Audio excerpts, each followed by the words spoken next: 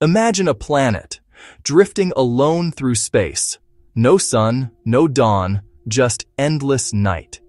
These are rogue planets, worlds ejected from their star systems, condemned to wander the galaxy.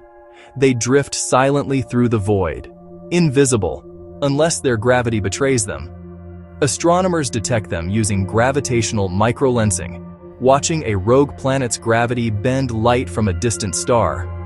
When that light briefly brightens, just for seconds, it means a dark, wandering world crossed in front. Projects like OGLE and MOA have found dozens, but NASA's Roman Space Telescope could uncover billions.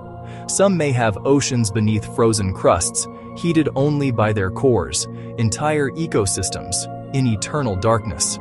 There may be more rogue planets than stars in the Milky Way, lonely worlds drifting between the light. Follow for more space mysteries.